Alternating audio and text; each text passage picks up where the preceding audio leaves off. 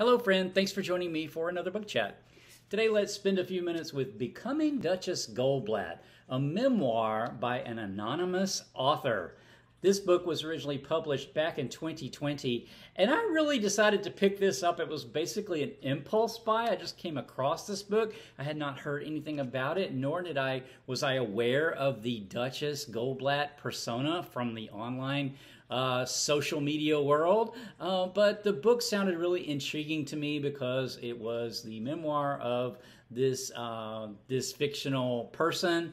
Um, it ultimately is this book surprised me. This memoir surprised me a bit because I wasn't really expecting to enjoy it as much as I actually did. It's actually a, both a memoir of the fictional character Duchess Goldblatt as well as um, aspects of the anonymous author, such as the forces that drove the author to create this online persona. So, who was the author? As I mentioned, the author is anonymous. Uh, the back of the book here says anonymous, the real life person in whose mind Duchess Goldblatt lives and flourishes has gathered all available truth and beauty for these pages. There's nothing else to give. There's a quote at the very beginning of the book that also sort of describes the sort of life circumstances that the author found herself in when she was then um, led to just sort of out of the blue to create this online persona of Duchess Goldblatt. Um, but the quote says this um, when, the, uh, when the house burns down, so to speak, there's no guarantee that anybody will stick around to help sweep up. This is not the dominant narrative that I had been that I'd been raised to believe in.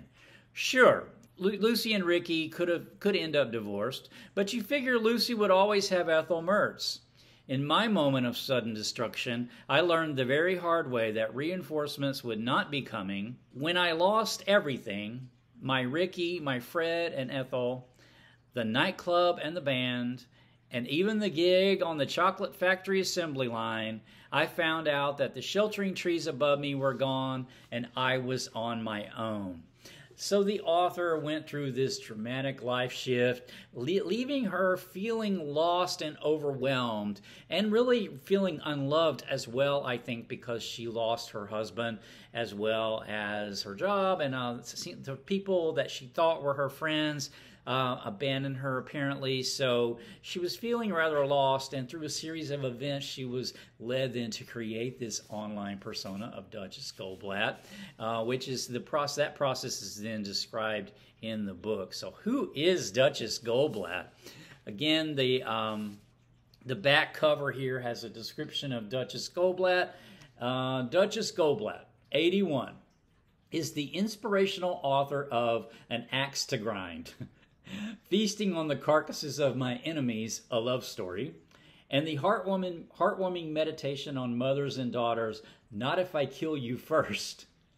A cultural icon, trophy ex wife, friend to all humanity, and sponsor of the prestigious Goldblatt Prize in Fiction, she lives in Crooked Path, New York. She's fictional, but her love is real. I just love that. That description of her, and it really describes her um, very well. So, about this cover art, this is the Duchess herself. She is actually this painting. Uh, the author took uh, this painting for that is in the National Gallery of Art. The painting is called Portrait of an Elderly Lady. It's from 1633 by the Dutch artist Frans Hals and uh, I think it's just perfect for her. There's a quote here from the book that really describes Duchess as well that I think is, is pretty cool. It says, Duchess is a friend to all humanity, which is all well and good as far as it goes, but I don't mind telling you privately here that it can be a real drag for me, the author says. She loves the world. I try to love the world. I mean, in theory, I want to love the world and all humanity. I can certainly how it see how it would be a good idea. um, you know, so this interplay between the Duchess persona as well as the author. The Duchess is very self confident, and the author, though, at this time, to contrast that, was really struggling with her life and really struggling with, um, you know, with with with coming to terms with what all had happened to her. So this is all explained really well in the book. So the author, you know, used to ask her father, and I thought this was real cool about love, you know, loving all of humanity. She asked her father, um, "How do you love?" Because she, she apparently had one of these fathers that was just just a, a really kind person, um, and she says, "How do you love everybody? Surely you can't love everybody." Surely some people don't deserve it. I used to ask my father about this all the time. I'm not sure what you mean by deserve, he'd say. You love people because they're people, because they're human beings, not necessarily because you enjoy their company, which is one kind of love, but because you recognize they're inherently worthy. Every person is inherently worthy. And I think that's what D- Duchess Goldblatt actually tried to put out there in the world, in the social media world, which definitely needs this kind of love, right? And, uh, you know, got a really good response. Um, you know, the author shared a lot about her personal family. Again, she's still anonymous. We do not know who she is, but um, I gathered she had a mentally ill brother that was in and out of mental institutions um, and was quite trying for her parents, for her father especially. And um, the author explains this uh, different different things that happened with that. I think her brother eventually did commit suicide, so sort of tragic family life or very troubled family life in that regard. But she did have this love with her father, which I thought was really quite beautiful.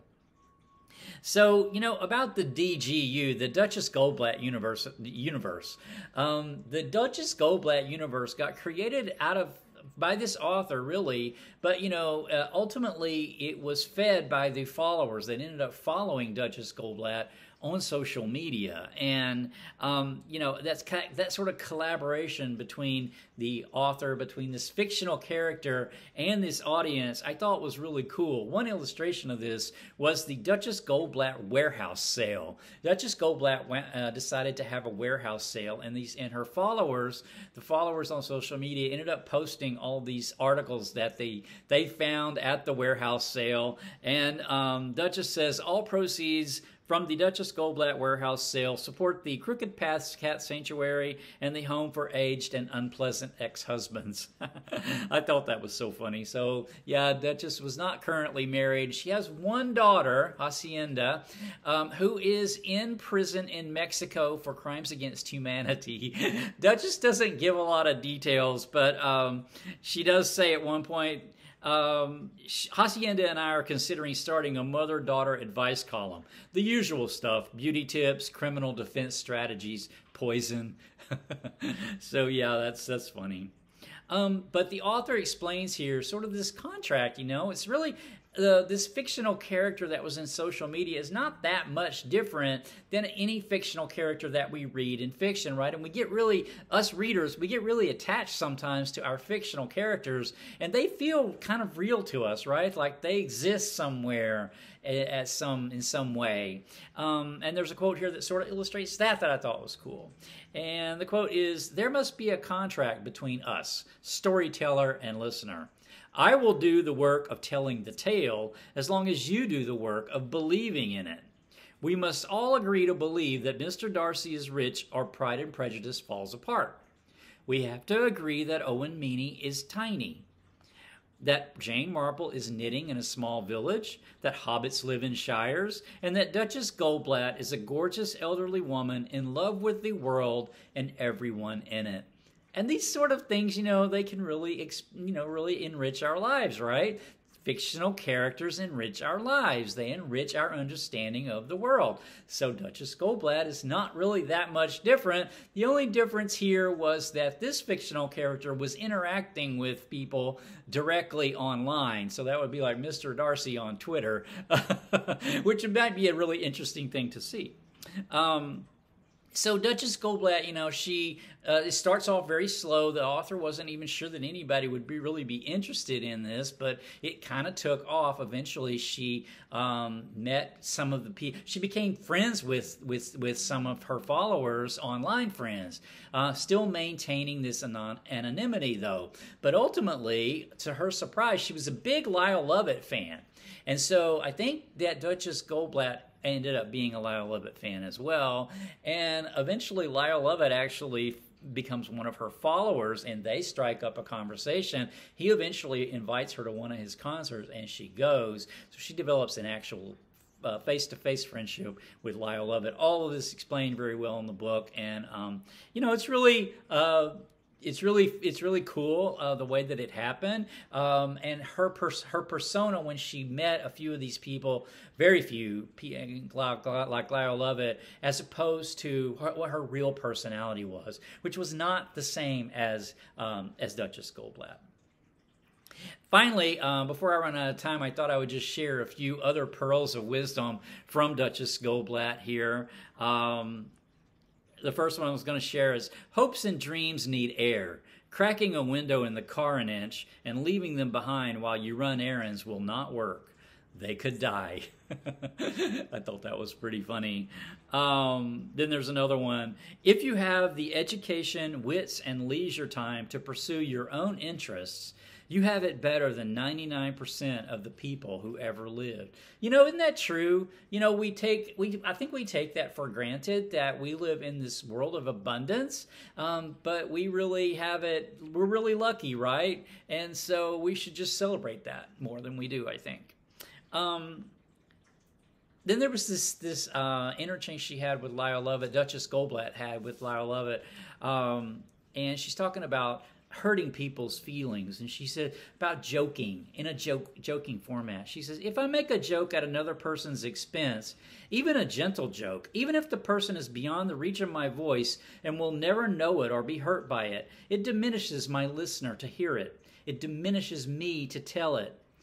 The better joke is always going to be the one that doesn't hurt anybody this is the habit of mind I work at. She works at this. She's not, you know, this is not something that you can just do. You would have to work at this because the temptation, if you see a joke there, even if you're joking about a celebrity that's never that doesn't know you, that's never going to hear your joke, um, it diminishes both you and the person you're telling it to, in the opinion of the Duchess. And I tend to agree with her on that. Finally, I'll close with this last quote that I think is so cool. Don't let anyone shame you for your love of an imaginary friend. Religions have been founded on less, says the Duchess. And that is very true. We love our fictional characters. There's nothing wrong with that. Um, it is it can be a very enriching experience, both fictional characters like Duchess Goldblatt, as well as fictional characters in books, movies, whatever. Um, you know, it, it, it, can be a wonderful thing. So I will close the chat with that thought. Um, I did enjoy this memoir way more than I expected, so glad I picked that up uh, on kind of an impulse um, and got that read. All right, my next chat is going to be some science fiction. Uh, the last of a, a, a, the Terra Ignota series by Ada Palmer, Perhaps the Stars. I have finished this already, and I'll have a chat on it coming up soon. So until next time, take care.